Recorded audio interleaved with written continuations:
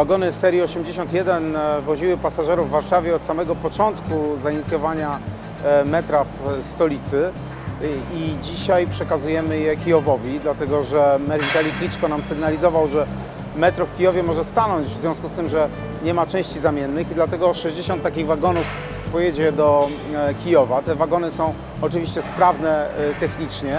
Co prawda niektóre z nich przejechały aż 2,5 miliona kilometrów, ale na pewno będą się dobrze sprawować w Kijowie no i pomogą e, merowi, całemu miastu w zabezpieczeniu e, potrzeb e, transportowych.